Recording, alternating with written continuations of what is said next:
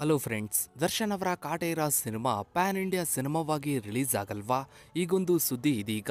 Social ಮೀಡಿಯಾದಲ್ಲಿ ಸಾಕಷ್ಟು ಚರ್ಚೆ ಆಗ್ತಾ ಇದೆ. ಹೌದು ಫ್ರೆಂಡ್ಸ್ ಕಾಟೇರ ಸಿನಿಮಾ ಫೆಬ್ರವರಿ ಒಂಬತ್ತಕ್ಕೆ G five O T T ಪ್ಲಾಟ್ಫಾರ್ಮಲ್ಲಿ release ಆಗ್ತಾ ಇದೆ.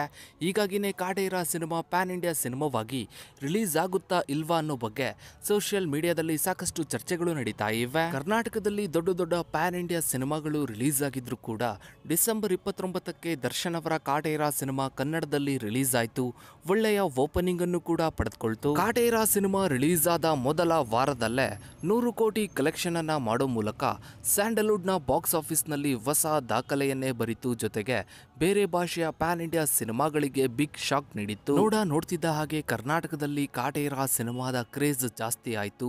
ದುಬೈ, ಆಸ್ಟ್ರೇಲಿಯಾ, ಅಮೆರಿಕ ಸೇರಿದಂತೆ ಬೇರೆ ದೇಶಗಳಲ್ಲೂ ಕೂಡ ಕಾಟೇರ ಸಿನಿಮಾ ರಿಲೀಸ್ ಆಯಿತು ಅದರಲ್ಲೂ ದುಬೈನ ಸಾಕಷ್ಟು ಥಿಯೇಟರ್ಗಳಲ್ಲಿ ಕಾಟೇರ ಸಿನಿಮಾ ಹೌಸ್ಫುಲ್ ಪ್ರದರ್ಶನವನ್ನ ಕಾಣ್ತು. ಅಲ್ಲಿನ ಸಾಕಷ್ಟು ಜನ ಆಡಿಯನ್ಸ್ಗಳಿಗೆ ಕಾಟೇರ ಸಿನಿಮಾದ ಟಿಕೆಟ್ಸ್ಗಳು ಕೂಡ ಸಿಗ್ತಾ ಇರಲಿಲ್ಲ. ಆ ವಿಡಿಯೋಗಳು ಸೋಷಿಯಲ್ ಮೀಡಿಯಾದಲ್ಲಿ ಸಾಕಷ್ಟು ವೈರಲ್ ಕೂಡ ಆಗಿದ್ವು. ಇನ್ನು ಕರ್ನಾಟಕದಲ್ಲಿ ಕಾಟೇರ ಸಿನಿಮಾದ ಕ್ರೇಜ್ ಜಾಸ್ತಿ ಆಗ್ತಿದ್ದ ಹಾಗೆ ಸಾಕಷ್ಟು ಜನ ಫ್ಯಾಮಿಲಿ ಆಡಿಯನ್ಸ್ಗಳು, ಹಳ್ಳಿಯ ಜನರು ಟ್ರ್ಯಾಕ್ಟರ್ಗಳಲ್ಲಿ ಟೆಂಪೋ ಟ್ರಾವೆಲ್ಗಳಲ್ಲಿ ಕಾಟೇರ ಸಿನಿಮಾವನ್ನ ಥಿಯೇಟರ್ನಲ್ಲಿ ಬಂದು ನೋಡಿದ್ರು. ಇನ್ನು ಸೋಷಿಯಲ್ ಮೀಡಿಯಾದಲ್ಲಿ ಕಾಟೇರ ಸಿನಿಮಾದ ಕ್ರೇಜ್ ಅನ್ನ ನೋಡಿದ್ದಂತಹ ಸಾಕಷ್ಟು ಜನ ಬೇರೆ ಭಾಷೆಯ ಆಡಿಯನ್ಸ್ಗಳು ಸಿನಿಮಾವನ್ನ ಕನ್ನಡದಲ್ಲೇ ನೋಡಿ, ಈ ಒಂದು ಸಿನಿಮಾವನ್ನ ನಮ್ಮ ಭಾಷೆಯಲ್ಲೂ ಕೂಡ ರಿಲೀಸ್ ಮಾಡಿ, ಪ್ಯಾನ್ ಇಂಡಿಯಾ ಸಿನಿಮಾವಾಗಿ ರಿಲೀಸ್ ಮಾಡಿ ಅಂತ ಸೋಷಿಯಲ್ ಮೀಡಿಯಾದಲ್ಲಿ ಟ್ವೀಟ್ಗಳನ್ನು ಮಾಡಿದ್ರು. ಇನ್ನು ಕಾಟೇರಾ ಸಿನಿಮಾದ ನಿರ್ದೇಶಕ ತರುಣ್ ಸುಧೀರ್ ಅವರು, ಕಾಟೇರಾ ಸಿನಿಮಾವನ್ನ ಪ್ಯಾನ್ ಇಂಡಿಯಾ ಸಿನಿಮಾವಾಗಿ ರಿಲೀಸ್ ಮಾಡೋದಕ್ಕೆ ನಾವು ಎಲ್ಲ ರೀತಿಯ ತಯಾರಿಯನ್ನ ಮಾಡ್ಕೊಂಡಿದ್ದೀವಿ. ಎಲ್ಲ ಭಾಷೆಗಳಿಗೂ ಕೂಡ ಡಬ್ ಮಾಡಿ ಆಗಿದೆ.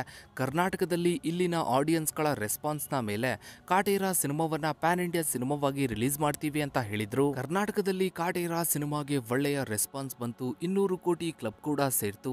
ಆದರೆ ಸಿನಿಮಾವನ್ನು ಪ್ಯಾನ್ ಇಂಡಿಯಾ ಸಿನಿಮಾವಾಗಿ ರಿಲೀಸ್ ಮಾಡೋ ಬಗ್ಗೆ ಚಿತ್ರತಂಡದಿಂದ ಯಾವುದೇ ರೀತಿಯ ಅಪ್ಡೇಟ್ಗಳು ಹೊರಬೀಳಲಿಲ್ಲ. ಇನ್ನು ಈಗ Kaatera cinema Z five O T T platform ಅಲ್ಲಿ ಫೆಬ್ರವರಿ ಒಂಬತ್ತಕ್ಕೆ ರಿಲೀಸ್ ಆಗ್ತಾ ಇದೆ. ಒ ಟಿ ಟಿಯಲ್ಲಿ ಕಾಟೇರಾ ಸಿನಿಮಾ ಐದು ಭಾಷೆಗಳಲ್ಲೂ ಕೂಡ ರಿಲೀಸ್ ಆಗುತ್ತಾ ಅಥವಾ ಕನ್ನಡದಲ್ಲಿ ಮಾತ್ರ ರಿಲೀಸ್ ಆಗುತ್ತಾ ಅನ್ನೋ ಬಗ್ಗೆ ಇನ್ನು ಮಾಹಿತಿ ಇಲ್ಲ. ಇನ್ನು ನೀವು ಕೂಡ ಮತ್ತೆ ಒ ಟಿ ಟಿ ಪ್ಲಾಟ್ಫಾರ್ಮ್ ಅಲ್ಲಿ ಸಿನಿಮಾವನ್ನು ಸಿನಿಮಾವನ್ನ ನೋಡೋದಕ್ಕೆ ವೆಯ್ಟ್ ಮಾಡ್ತಾ ಇದ್ರೆ ತಪ್ಪದೇ ಕಮೆಂಟ್ ಸೆಕ್ಷನ್ ಅಲ್ಲಿ ಕಮೆಂಟ್ ಮಾಡಿ, ಹಾಗೆ ವಿಡಿಯೋಗೊಂದು ಲೈಕ್ ಮಾಡ್ತಾ ವಿಡಿಯೋನ ಆದಷ್ಟು ಎಲ್ಲ ಕಡೆ ಶೇರ್ ಮಾಡಿ. ನೀವಿನ್ನು ನಮ್ಮ ಚಾನಲ್ಗೆ ಸಬ್ಸ್ಕ್ರೈಬ್ ಆಗಿಲ್ಲ ಅಂದರೆ ಕೆಳಗಡೆ ಕಾಣೋ ಸಬ್ಸ್ಕ್ರೈಬ್ ಬಟನ್ ಕ್ಲಿಕ್ ಮಾಡಿ, ಹಾಗೆ ಪಕ್ಕದಲ್ಲಿ ಕಾಣೋ ಬೆಲ್ಲೈಕನ್ ಕೂಡ ಕ್ಲಿಕ್ ಮಾಡಿ.